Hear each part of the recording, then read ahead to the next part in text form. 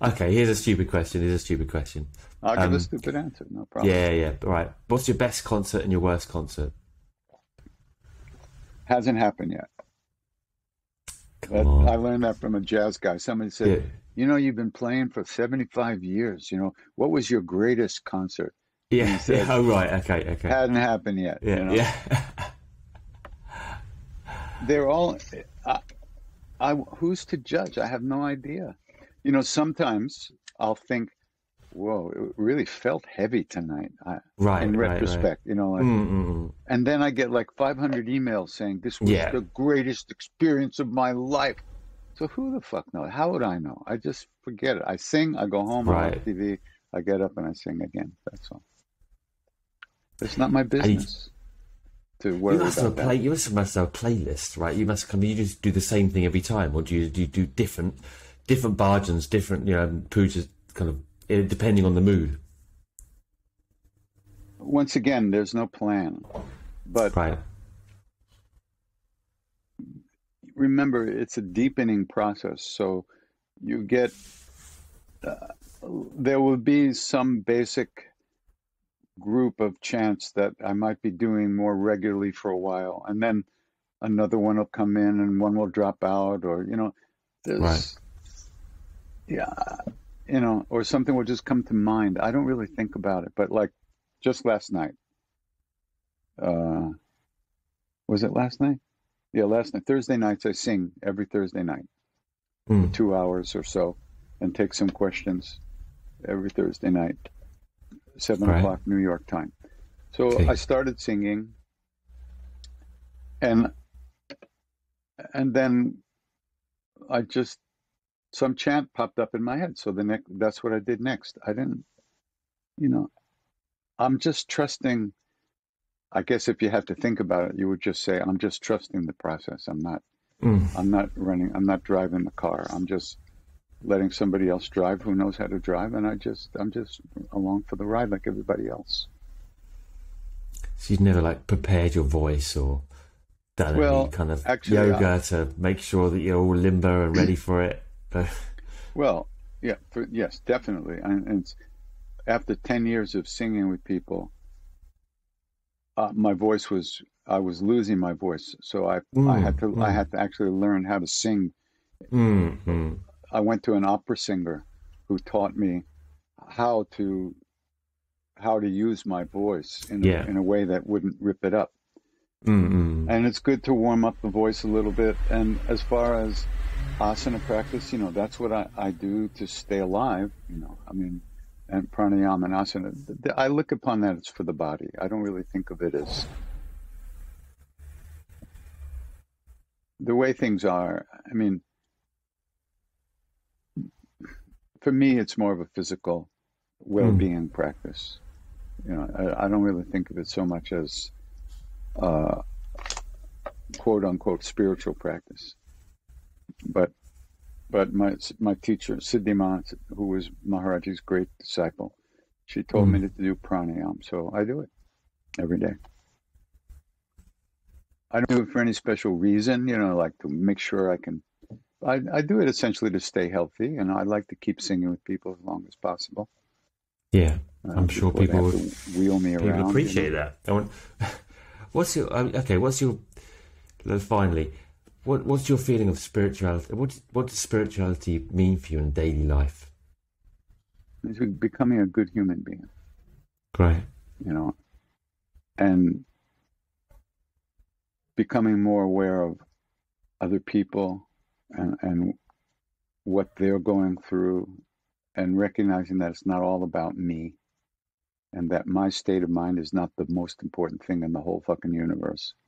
Mm, Because if we don't think about ourselves, then those thoughts don't arise anywhere. We're free. mm, So that's what a good human being is someone who cares about other people and tries to do whatever they can to to alleviate suffering wherever it is and we have enough of our own also to work on so um, like i said the chanting changes the way you live in the world it changes the way you see yourself and others it's not just that okay this was a very blissful chanting experience wow this was really spiritual. No, it's not like that.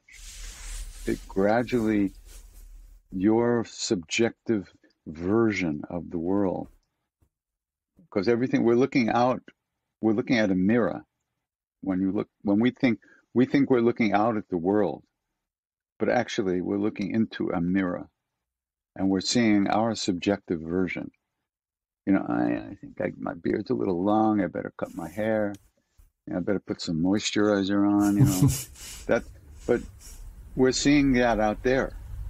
So as you chant, as you do these practices, spiritual practice, not just chanting, of course, what you see changes because it's less your version and more uh, factual. What's really out there? You know, what, what's really happening there?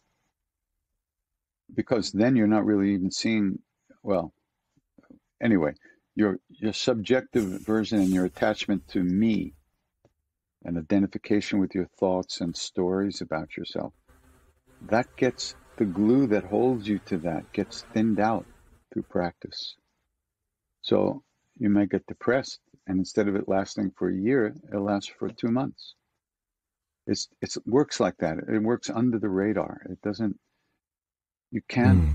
you can't know. Like Ramana Maharshi said, he said asking asking the mind to kill the mind or the ego to kill the ego is like asking the thief to be the policeman.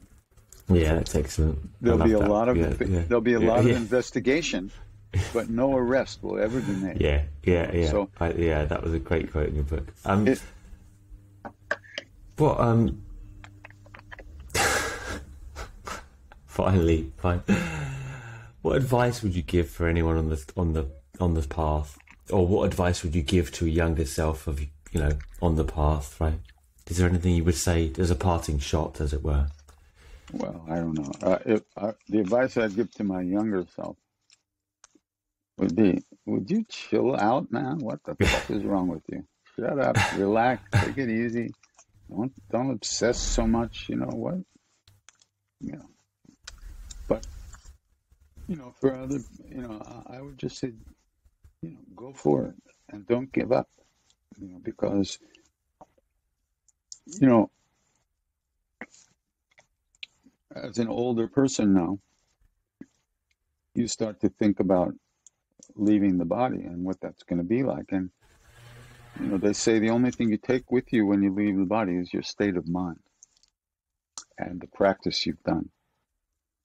So when you're younger, you don't live in that reality. You still think mm-hmm. you have mm-hmm. lots of time left to do this and that, and it's a very interesting conundrum.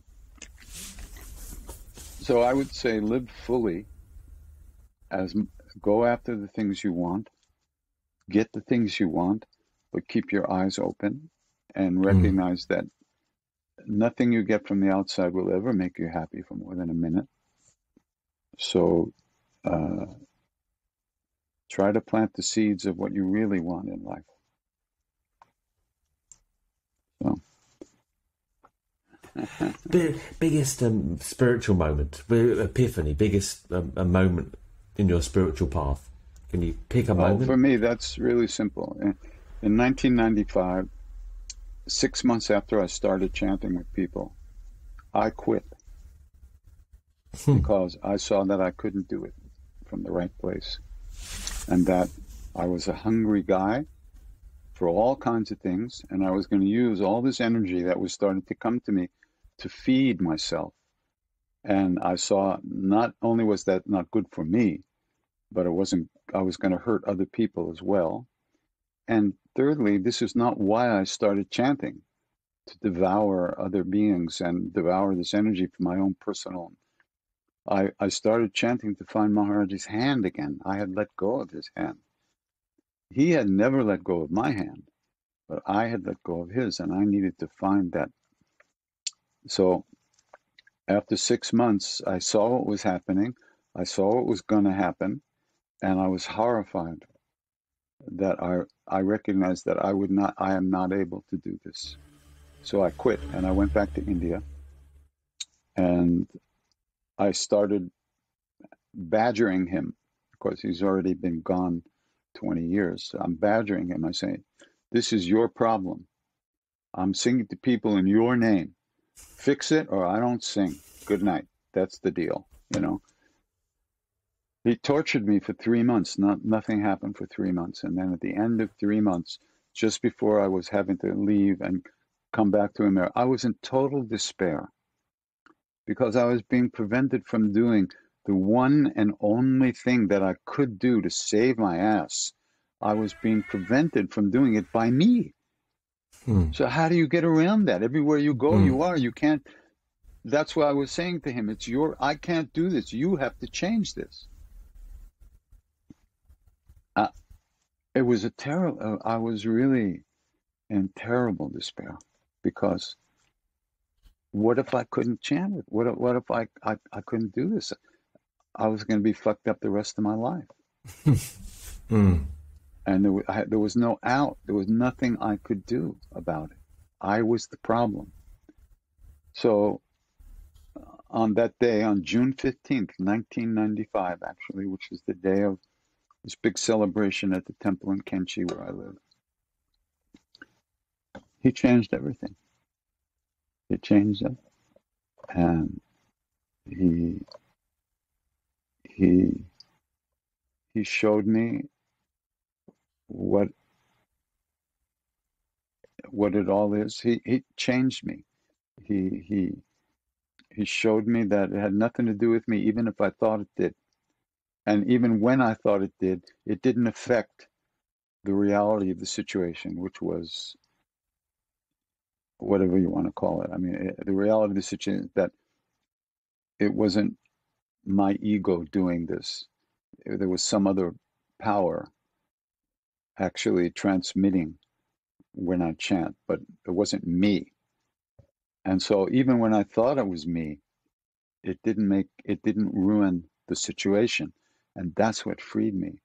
But saying it like that doesn't I can't there's no way I can transmit the the mm. depth of the experience. I mean, it was a life changing experience. Everything in my life before that was one way, and everything in my life after that was right. another way. Right. Mm-mm. Yeah, you do. I mean, you do convey it in the book, so people have to read the book to get the experience. All right. All right. Well, I know. I mean, finally, I know you've been into you were into drugs before, but give me a, a more sanitary, guilty pleasure that you still hold on to now.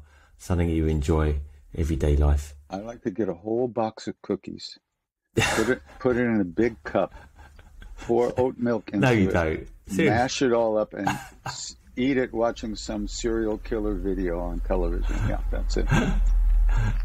You're kidding me, aren't you? I'm we never know. We'll, we'll, never we'll never know whether he is or isn't. I'll leave it there. Okay. right. Thank you for joining me. It's been an okay, absolute pleasure. Nice to meet you. Thank Take you. good care.